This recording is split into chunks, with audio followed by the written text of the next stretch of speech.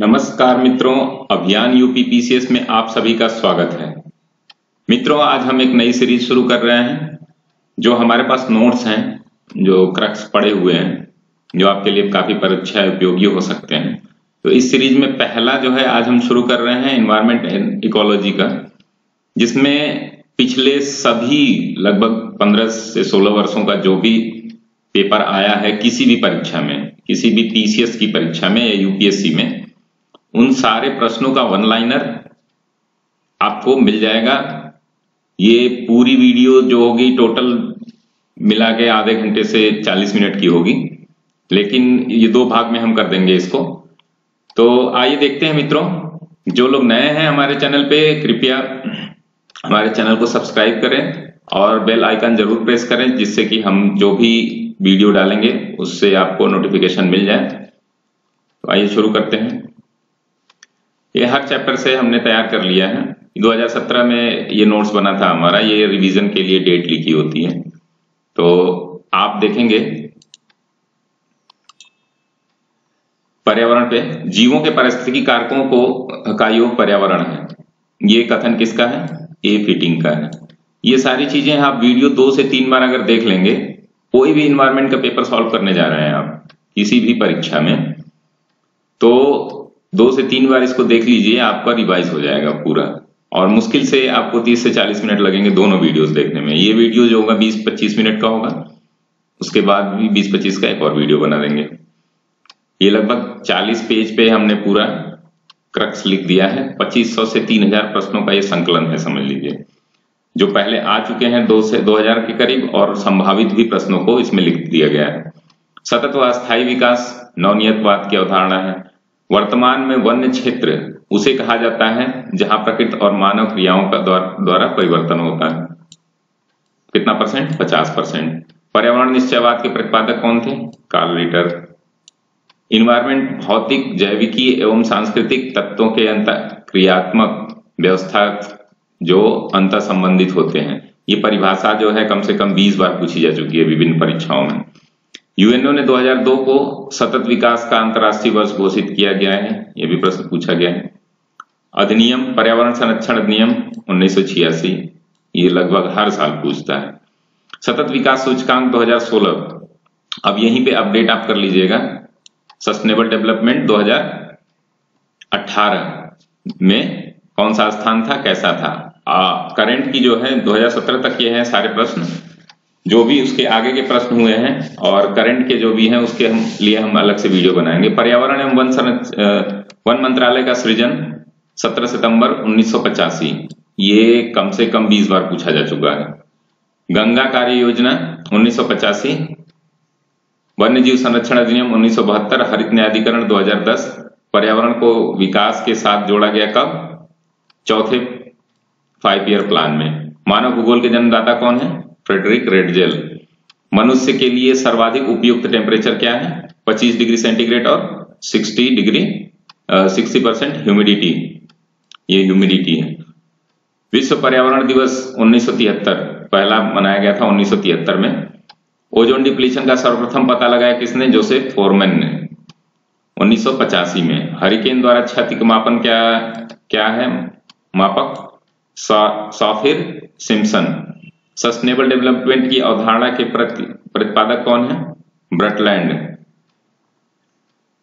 तो sustainable development की अवधारणा के प्रतिपादक, ये ब्रटलैंड में हुआ था। प्रतिपादन कब हुआ था? ब्रटलैंड उन्नीस ये तीन चार बार यूपीएससी में पूछ चुका गया है। भारत में गैर परंपरागत ऊर्जा स्रोत विभाग की स्थापना उन्नीस सौ बयासी। नीरी नागपुर में है umbrella legislation EPA environment protection act department of renewable energy कब गठन हुआ था? उन्नीस सौ सतासी में। अब ये पूरा समझ लीजिए कि डेढ़ सौ से दो सौ प्रश्न इससे पर्यावरण से पूछे गए हैं, जो इन्हीं में एक पेज में आपका हो जाएगा। ये सारी चीज़ें याद कर लीजिएगा और साइड में आप जब नोट्स बनाया करिए तो ये स्पेस देखिए, हम छोड़े हैं, आप भी छोड़ लिया करिए। इसमें कोई नई इंफॉर्मेशन हो, आप अपडेट कर दें और ओपन पेज पे बनाया करिए। खुले पेज पे ही नोट्स बनाया करिए, जिसमें आप नया पेज भी ऐड कर सकें। लाइकेन अब ये इकोलॉजी एंड इकोसिस्टम से लाइकेन वनों वनों में, वन में पेड़ों की छालों पर उगे रहते हैं। हुसैन सागर कहाँ पे है? हैदराबाद में, जलकुंभी की वृद्धि से नष्ट हुई है। जेरोफाइट्स मरुस्थल में उगने वाले पौधे को बोलते हैं। पादप वृद्धि के लिए सबसे उपयुक्त कौन सी मिट्टी होती है? दोमट मिट्टी होती है। पौधे जल अवशोषित करते हैं केसिका जल, ठीक है? घास स्थलीय पारितंत्र का ऊर्जा पिरामिड सीधा होता है, ये बना लीजिएगा आप लोग खुद अपने नोट्स में। तालाब के पारितंत्र का जीवभार पिरामिड उल्टा होता है। घास स्थलीय तथा वन जीवभार पिरामिड सीधा होता है। खाद्य जाल में ऊर्जा प्रवाह वन यूनिडायरेक्शनल होती है, कम से कम पाँच बार लगातार पूछा गया है पीसीएस में 2017 तक। एक खाद्य स्तर से दूसरे खाद्य स्तर में जाने से ऊर्जा का ह्रास कितना होता है? 90 परसेंट, दस परसेंट ऊर्जा ही संरक्षित रहती है। ये भी तीन चार बार पूछा जा चुका है। पारिस्थितिकी पदछाप पारिस्थितिकी स्तूप। पिरामिड की परिकल्पना सर्वप्रथम किसने दी थी? चार्ल्स एल्टन ने। सूर्य के प्रकाश में उगने वाले पौधों को क्या कहते हैं? आपतोद्भिद। ग्रीष्म में भारी वर्षा तथा सर्दी में कम वर्षा कहाँ होती है? घास वन में। हेलोफाइट्स लवड़ीय मृदा में उगने वाले पौधे होते हैं। मृदा परिवर्धन को मृदा जनन भी कहते हैं। ये पूछा गया है। दृढ़ पड़ी वन क्षेत्रों की विशेषता शरद ऋतु में भारी व ग्रीष्म ऋतु में कम वर्षा। मृदा परिच्छेदिका का संस्तर, ये मेडिटेरियन क्लाइमेट का है। देख लीजिएगा। मृदा परिच्छेदिका का संस्तर जिसमें कार्बनिक पदार्थ प्रचुर मात्रा में पाए जाते हैं, वो संस्तर है। ऊर्जा उपजाऊ लोम मृदा उपजाऊ लोम मृदा में बालू व मृतिका का आदर्श अनुपात कितना होता है? फिफ्टी फिफ्टी मृदा में अम्लता कम करने के लिए डोलोमाइट व चूना पत्थर। ध्यान दीजिएगा, ये पूछा गया है कई बार। नाइट्रोजन यौगिकीकरण वाला बैक्टीरिया, एजेटोबैक्टर है। घास वन में खाद्य श्रृंखला, घास, फिर हिरण, फिर शेर, फिर जू। पारितंत्र का गतिक हृदय, ऊर्जा प्रवाह व खनिज चक्र। पारितंत्र में होती है ऊर्जा व खनिजों दोनों की हानि। 10 परसेंट का नियम देने वाले वैज्ञानिक लिंडेमान। पारितंत्र में ऊर्जा का प्राथमिक स्रोत सनलाइट होता है। जैवमंडल में एक ही जाति की संख्या को क्या करते हैं? जनसंख्या करते हैं। कम्युनिटी समुदाय, देख लीजिएगा। एक से अधिक जातियों को क्या बोलते हैं? कम्युनिटी समुदाय। इकोलॉजी शब्द देने वाले ई हैकल हैं। प्रकाश संश्लेषण के दौरान ऊर्जा, रासायनिक ऊर्जा में परिवर्तित होती है, एक से दो परसेंट। रचना एवं कार्य की दृष्टि से जौ समुदाय का वो वातावरण एवं वो एक तंत्र की भांति कार्य करता है, उसको पारितंत्र कहते हैं। पारितंत्र में शैवाल का स्थान होता है, उत्पादक होता है। पोषण की दृष्टि से अपघटक मृतोपजीवी होते हैं। तालाब में बड़ी मछलियाँ, कछुए, मेढक, द्वितीय श्रेणी के उपभोक्ता है।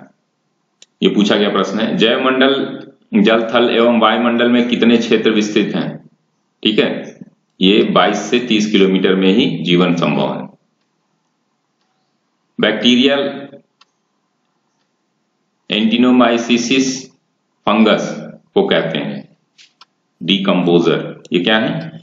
ये फंगस जो है, बैक्टीरियाज हैं। एंटिनोमाइसिस जो है, ये क्या है? डीकम्पोजर है।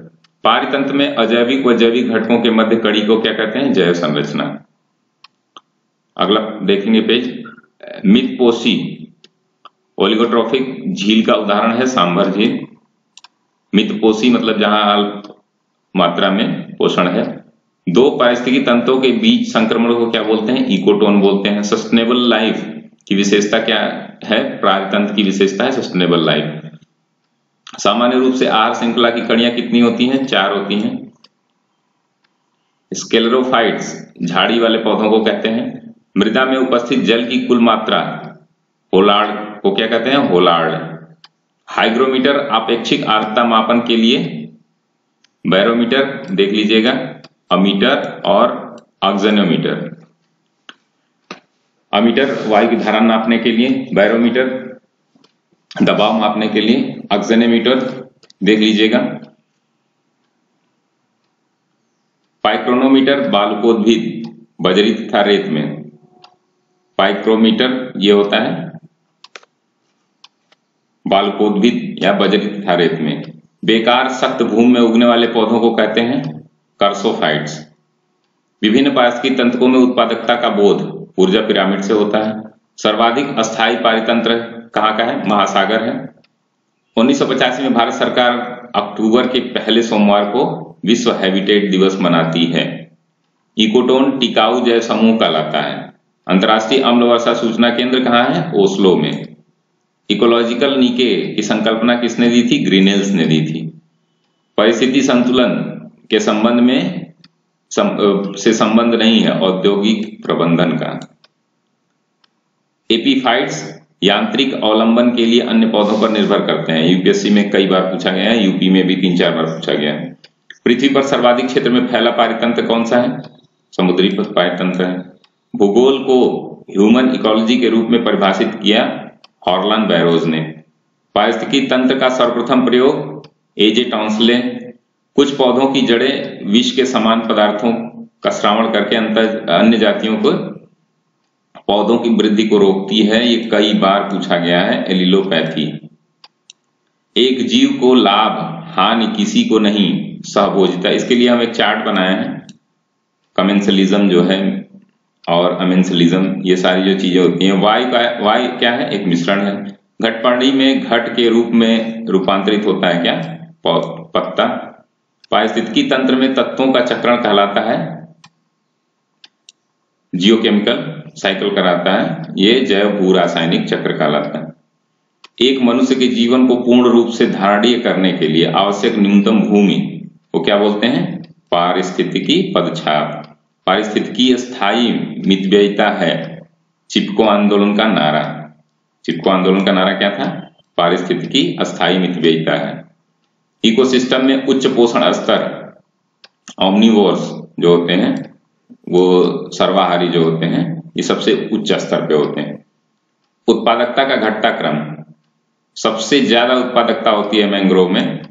कई लोगों ने मुझसे प्रश्न पूछा था, ये प्रश्न मैंने डाला भी था टेस्ट सीरीज़ में, और ये कई बार पूछा गया है। यूपीएससी में भी पूछा गया है 2014 में है या 15 में, और यूपी पीसीएस में भी दो बार पूछा गया है।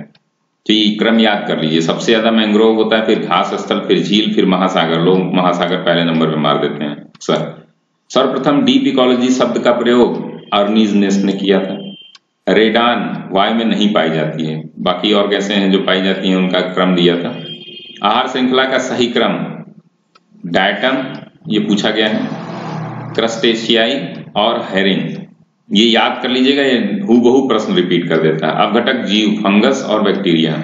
पारिस्थितिक तंत्र एक खुला तंत्र होता है, ओपन सिस्टम होता है, हमेशा याद रखिए। किसी निकाय में घनत्व प्रवणता दर्शाता है पिक्नोक्लाइन। घनत्व प्रवणता के लिए पिक्नोक्लाइन। परावैग्नि विकिरण फोटोकेमिकल क्रियाओं को तेज कर देता है। इसके कारण जहरीला कोहरा बनता है। अल्प दीप्तिकालिक पौधे क्या कौन कौन से हैं? इनको कम समय के लिए प्रकाश की ज़रूरत होती है, उनको अल्प दीप्तिकालिक बोलते हैं, तंबाकू और सोयाबीन। छायाप्री पौधे, हेलोफाइट्स सॉरी, हेलियोफोबस। एंजाइम क्रियाशीलतम सर्वोत्तम कब होता है? एंजाइम जो है क्रियाशील सबसे अधिक कब होता है? 25 से 35 डिग्री सेंटीग्रेड के। भारत में अस्थायी बर्फ़ लाइन कितने पे है? 4000 मीटर पे। अंकुरण के लिए बीजों का को कम ताप पर रखना क्या बोलाता है? बसंतीकरण। सब सॉयल अंस्तर किसको बोलते हैं? संस्तर बी को बोलते हैं। मृदा में औसतन पाँच परसेंट ह्यूमस पाया जाता है। सर्वाधिक पीट मृदा में पाया जाता है ह्यूमस।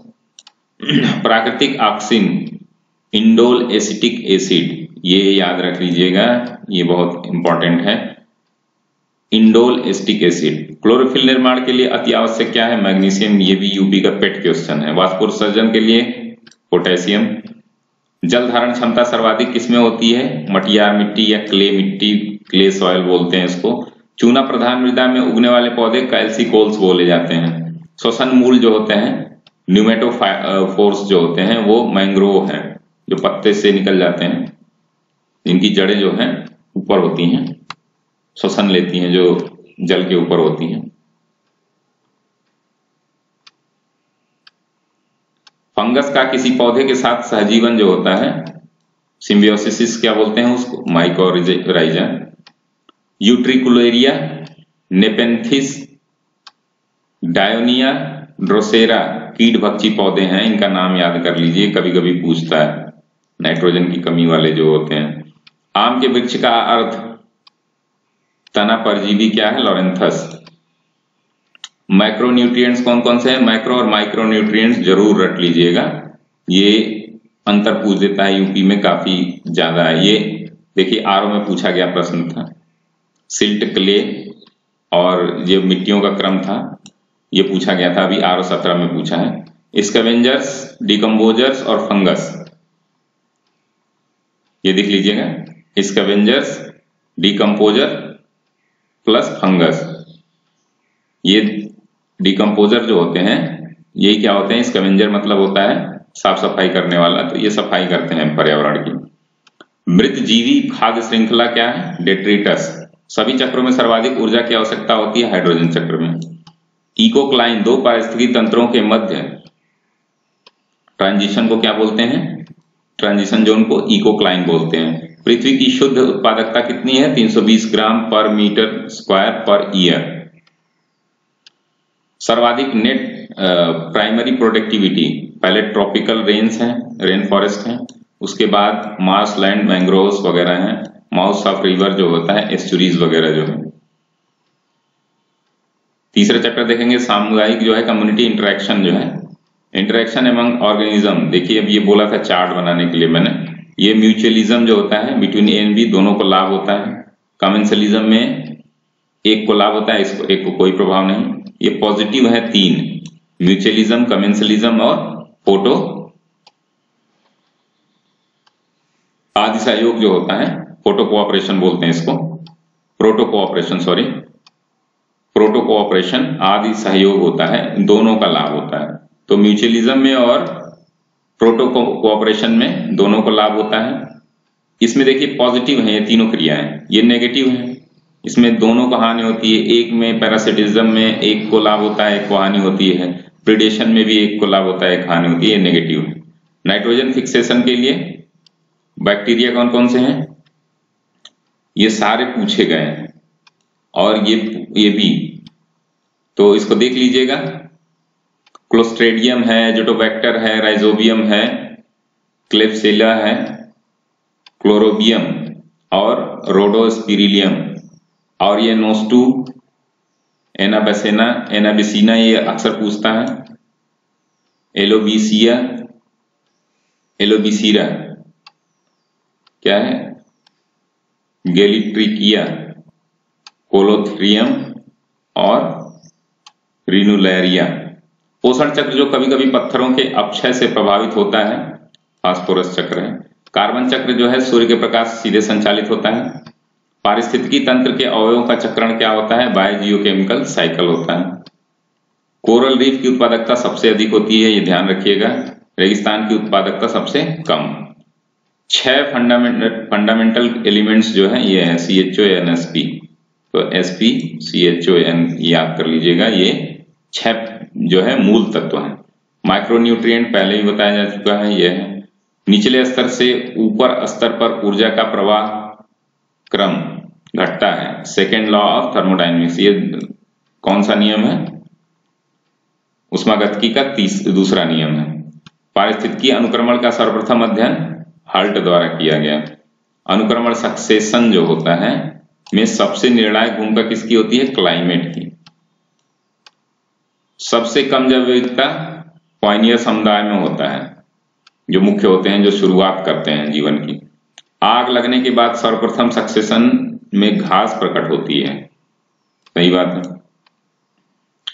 माइक्रोराइजल एसोसिएशन जो है, कवक मूलीय सहवास की एक कवक तंत्र जो होता है फंगल माइक्रोरिज्म माइसीलियम खनिज व जल अवशोषण में सहायक होता है।